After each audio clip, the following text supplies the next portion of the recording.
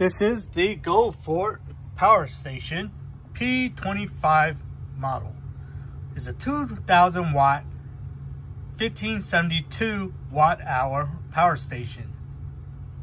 As you can see, it's a very nice size power station with handles on both sides, making it easy to carry. This does weigh a little bit, I think about 32 pounds. Up front is on button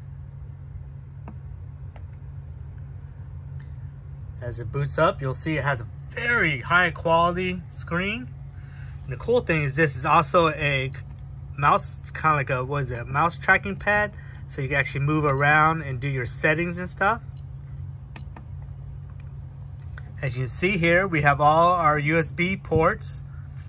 USB-A, you get two of them at 24 watts max. So I would really charge up your, your iPhones at the really highest rate of speed actually sorry you get four of those. Then you have two type C's which are the PD ports and you can do 120 watts max. And there's a on button here where you just hit that and it'll turn on. And then you'll get the icons here on the screen.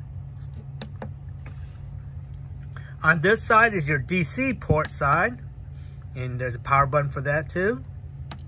And you have two barrel plugs so you could do your typical DC ports and if you're doing like a mini fridge or doing like a pump to pump up your mattress when you're camping or something, then you have a DC plug right here.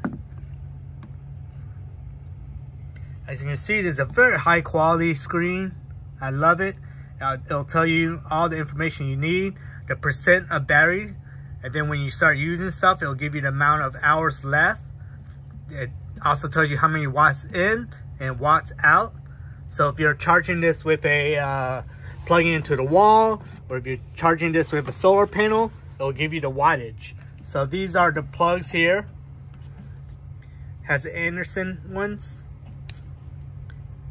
And then your typical AC plug, if you want to plug this into the wall. This does have the super fast charging, so you're able to charge this up to like 80% within an hour or so. Here in the back, you see is their AC plug. You'll have four of them and right now I plugged in a blow dryer just to give you a quick show. And then here's the blow dryer.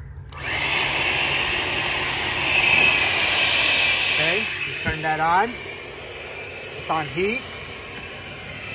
As you see, you can run your blow dryer for about 29 minutes because it's using 12 over almost 12 and a half 1254 watts of power as it heats up your blow dryer. Again, I love that this is able to show you everything real time in a very high quality screen.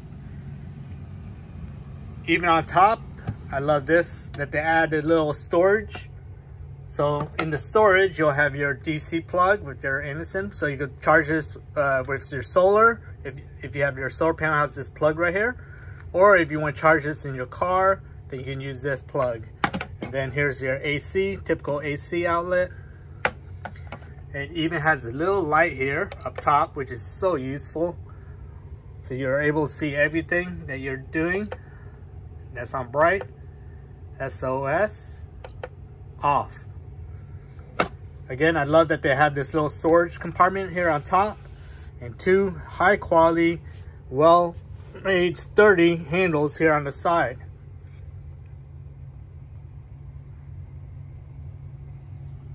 Again, this is the GoFort P25 2000 watt with a 1572 watt hour battery. Portable power station.